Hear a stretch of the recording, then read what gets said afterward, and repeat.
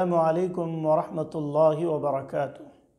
الحمد لله الحمد لله وحده والصلاة والسلام على من لا نبي بعد أما بعد. أعوذ بالله من الشيطان الرجيم. بسم الله الرحمن الرحيم.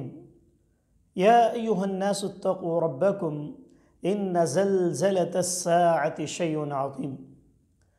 وعن أبي هريرة رضي الله تعالى عنه قال قال رسول الله صلى الله عليه وسلم سبعة يظلهم الله في ظله يوم لا ظل إلا ظله. الأول إمام عادل. إلى آخر الحديث رواه البخاري ومسلم. تمام طرح کی تعریفیں حمد و ثنا بڑائی و کبریائی اس اللہ کے لیے لائق و زیبا ہے جو تمام جہانوں کا پالنہار ہے۔ اس اللہ کا ہم پر احسان ہے کہ اللہ نے ہمیں کتاب و سنت کے ماننے والوں میں اللہ نے پیدا فرمایا۔ اور اللہ سے دعا کریں کہ اللہ رب العالمین ہم تمام کو، ہم تمام مسلمانوں کو اور جو کوئی بھی ناظرین اس ایپیسوڈ کو دیکھ رہے ہیں، ان تمام کو اللہ رب العالمین مرتے دم تک دین پر ثابت قدمی عطا فرمائے۔ محترم ناظرین، میں نے آپ حضرات کے سامنے پچھلے ایپیسوڈ میں پوری بخاری مسلم کی یہ پوری سو آیت، پوری سو، پوری حدیث میں نے آپ کے سامنے پیش کی تھی، جس کے اندر یہ بات بتلائی گئی تھی کہ اللہ تبارک و تعالی قیامت کے دن، جیسے کہ میں نے سورہ حج کی ایک آیت کریمہ آپ کے سامنے پڑھی ہے، اللہ نے فرمایا، یا ایوہ الناس اتقوا ربکم، ان زلزلت الساعت شیون عظیم۔ کہ اللہ نے پوری انسانیت کو مخاطب کر کے کہا کہ یا ایوہ الناس الناس کس کو کہتے ہیں عربی کے اندر؟ عربی کے اندر ناس کہا جاتا ہے، پوری انسانیت اس کے اندر شامل ہو جاتی۔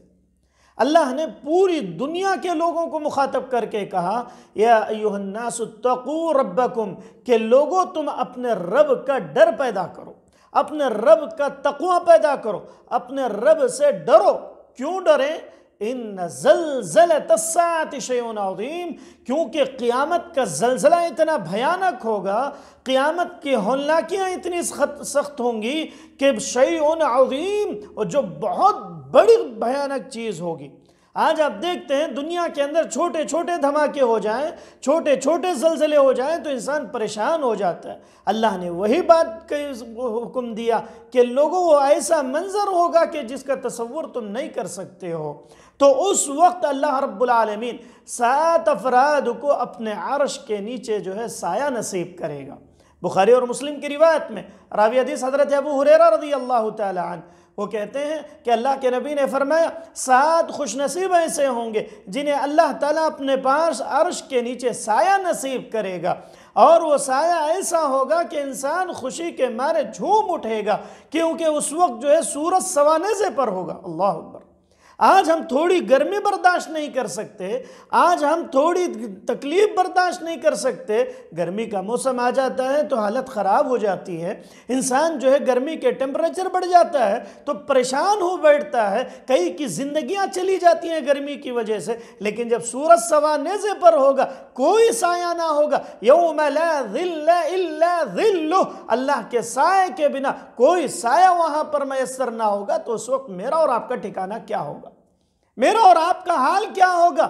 اس کے بارے میں سوچیں۔ اللہ کے نبی نے فرمایا، سب سے پہلا شخص جس کو اللہ رب، اللہ تعالیٰ اپنا عرش کے نیچے جگہ جو دے گا، سایہ نصیب کرے گا، وہ کون ہوگا؟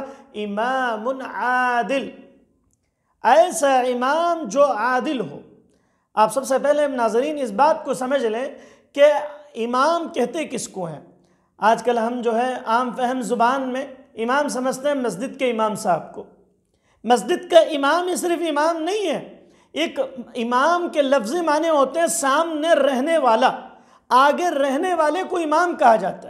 لیکن پوری ہندوستانی علاقے کے طور پر اگر سمجھا جائے، ایشیائی ممالک کے طور پر سمجھا جائے، تو لوگ کیا سمجھتے ہیں؟ مسجد میں امامت کرنے والا ہی صرف امام ہے یہاں کے اللہ کے نبی نے یہاں جو امام کی بات کہی ہے، وہ وہ امام ہیں جو پوری دنیا کی پوری دنیا کا حاکم ہوا کرتا تھا۔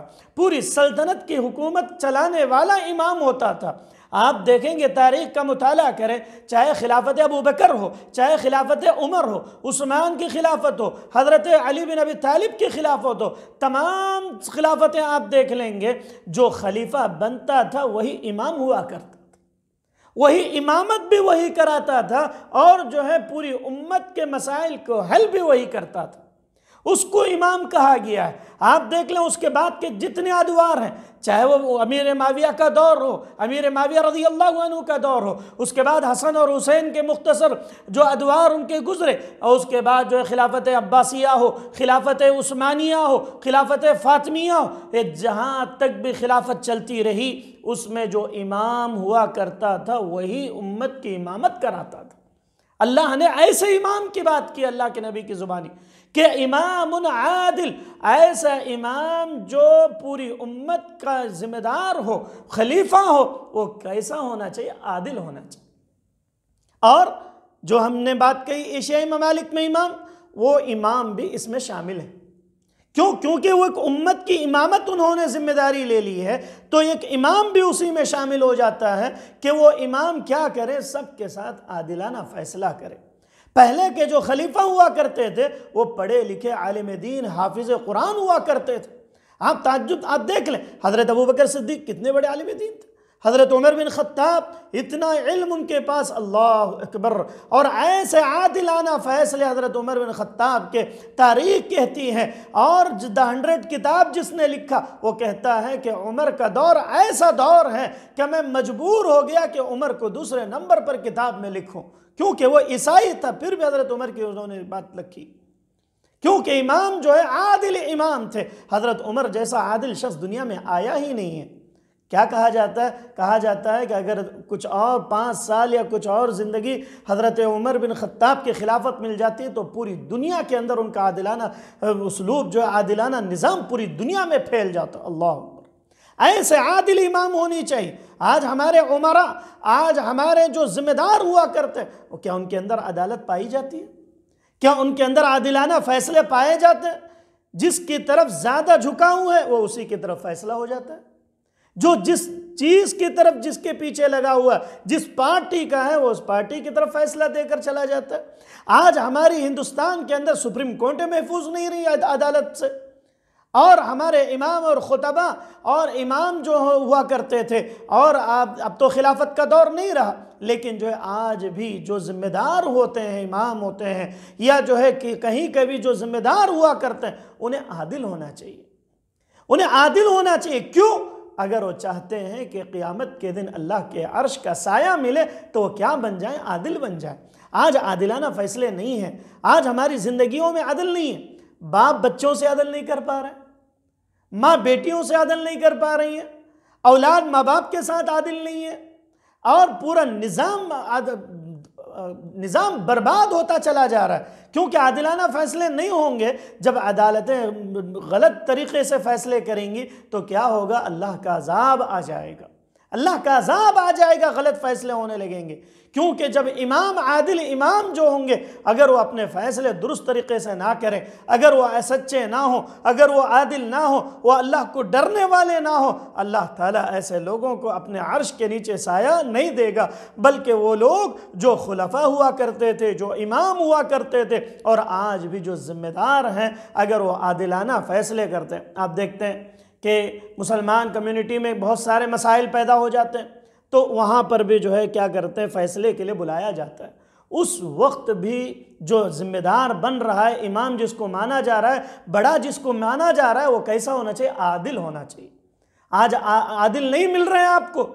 آپ دیکھیں گے جو پیسے زیادہ کوئی دے رہا ہے یا جو ہے جس کی طاقت مضبوط ہے، اس کی طرف فیصلہ دے دیتے ہیں، اڑ جاتے ہیں۔ یہ کہاں کا انصاف ہے؟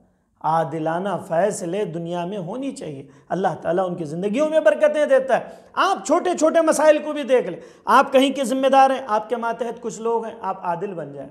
آپ انصاف کریں۔ آپ سب کے ساتھ انصاف کریں۔ ایسا نہ ہو کہ کچھ کے ساتھ انصاف ہو رہا ہے، کچھ کے ساتھ ظلم ہو رہا ہے۔ جو جتنا انصاف کرتا ہے۔ دیکھیے آپ اس کے کمائیوں میں کتنی برکتیں ہوتی ہیں۔ ان مدارس میں، ان مکاتب میں، ان ان جماعتوں میں، ان کمیونٹیز میں جو عادلہ عادلانہ فیصلہ، جو بھی ہے حق بولیں گے۔ جو بھی ہے عدل کے ساتھ فیصلہ کریں گے۔ آج وہ قاضی نہیں رہے، آج وہ امام نہیں رہے، آج وہ ذمہ دار نہیں رہے، جس کی وجہ سے امت تباہی کی طرف چلی جا رہی ہے۔ امت گمراہی کی طرف چلی جا رہی ہے۔ عادلانہ فیصلے کریں۔ باپ ہیں تو گھر کے تمام بچوں کے ساتھ عدل کریں۔ وراثت میں عدل کریں۔ اور دوسری چیزوں میں عدل کریں۔ پڑھائی کے معاملے میں عدل کریں۔ استاد ہیں بچوں کے ساتھ عدل کریں۔ اور جو ہے ذمہ دار ہیں تو اساتذہ کے ساتھ عدل کریں، ہم پوری کمیونٹی کے ساتھ عدل کریں۔ اور جو ہے ذمہ دار ہیں، محلے کے ذمہ دار ہیں کونسلر ہیں، یا مسلمان جو ہے آج کل لیڈر بھی بنتے چلے جا رہے ہیں، لیکن ذمہ داری بڑھ جاتی ہے۔ کیوں؟ کیونکہ وہ عادل بنے۔ اگر عادل نہیں بنیں گے تو پھر اللہ کے عرش کا سایہ نہیں ملے گا۔ جیسے میں نے کہا، یوم لا ذل الا ذل اس دن اللہ کے سائے کے علاوہ کوئی سایہ نہیں۔ محترم ناظرین، اس بات کو توجہ سے سنیں اور جو ہے اپنے دماغوں میں بٹھا لیں کہ بھئی ہم جب بھی کوئی فیصلہ کریں گے، جب بھی کسی کوئی ہمیں بڑا بنایا جائے گا یا ہم جہاں کہیں بھی بڑے بنیں گے، ہمارے ماتحت جو بھی ہوں گے، ہم ان کے ساتھ عدل کریں گے۔ ہر معاملے میں عدل۔ کیونکہ ہر شخص کئی چیزوں کا ذمہ دار بنتا ہے، وہ امام مانتے ہیں اس کو۔ بھائی آئیے آپ تھوڑا ہمارا مسئلہ حل کر دیجیے۔ یا مسجد میں ذمہ دار ہیں، وہ وہ فیصلے کو بیٹھتے ہیں۔ پنچایت میں بڑے لوگوں کو بلایا جاتا ہے۔ اب وہ یہ نہ دیکھیں کہ بھئی فلاں شخص مالدار ہے، فلاں شخص ایسا ہے، تو اس کے حق میں فیصلہ دے دیا۔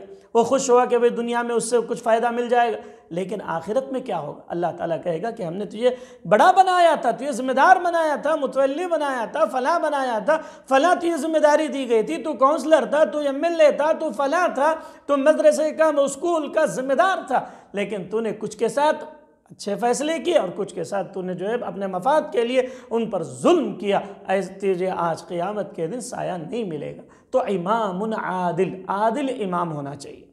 عدالت جو ہے ہر ایک کے لیے ضروری ہے۔ اللہ، محترم ناظرین، انشاءاللہ اگلے ایپیسوڈ میں پھر دوسرا وہ کون سا خوش نصیب ہوگا جس کو اللہ تعالیٰ اپنا عرش دے گا، عرش کے نیچے جگہ میں اثر کرے گا جب سورج سوانزے پر ہوگا۔ انشاءاللہ آگے پیش کروں گا۔ اللہ سے دعا گہوں کہ بار اللہ کہنے والے کو کہنے سے زیادہ، سننے والوں کو سننے سے زیادہ عادل بنائے اور حق کے فیصلے کرنے والے بنائیں نڈر فیصلے کرنے والے بنائیں اللہ کو ڈرتے ہوئے، ہر فیصلے میں اللہ کو ڈرتے ہوئے ہوئے، فیصلہ کرنے کی توفیق عطا فرمائے۔ اللہ رب العالمین کہنے والے کو کہنے سے زیادہ سننے والوں سننے عمل کی توفیق عطا فرمائے۔ آمین۔ والسلام علیکم ورحمۃ اللہ وبرکاتہ۔